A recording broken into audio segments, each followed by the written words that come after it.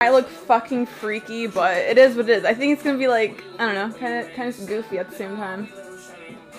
Um, okay, I need to put who, who do I put? You guys like the outfit?